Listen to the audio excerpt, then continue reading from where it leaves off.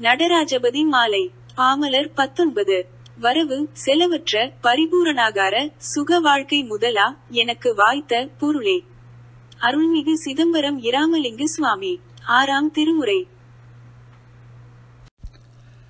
வரவு செலவற்ற பரிபூரணாகார சுக வாழ்க்கை முதலா எனக்கு வாய்த்த பொருளே என் கண்மணியே என் உள்ளே வயங்கி ஒளிர்கின்ற ஒளியே இரவு பகல் அற்ற ஒரு தருணத்தில் உற்ற பேரின்பமே அன்பின் விளைவே என் தந்தையே எனது குருவே என் நேயமே என் ஆசையே என் அறிவே கரவு நெறி செல்லா கருத்தினில் இனிக்கின்ற கருணை அமுதே கரும்பே கனியே அருட்பெருங் கடலே எல்லாம் வல்ல கடவுளே கலைகளெல்லாம் விரவி உணர்வறிய சிவதுரிய அனுபவமான மெய்மையே சன்மார்க்கமா மெய்ஞான நிலை நின்ற விஞ்ஞான கலர்வுளே மேவு நடராஜபதியே.